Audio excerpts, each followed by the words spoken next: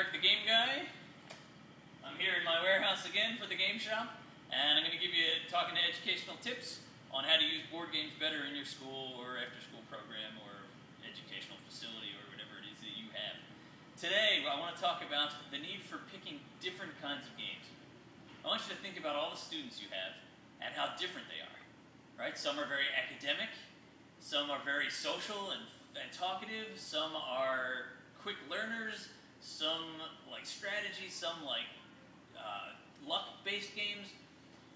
When you pick games for your program, it's important to have a wide variety of different kind of games, right? You obviously want chess and backgammon and checkers and strat, you know, Mancala strategy kind of things for those people that like those kind of games.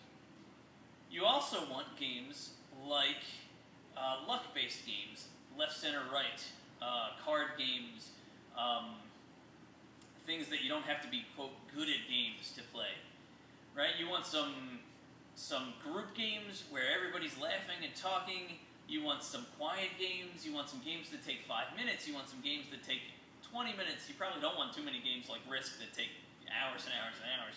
Um, but you want, you, you want lots of different games that reach and communicate to lots of different people.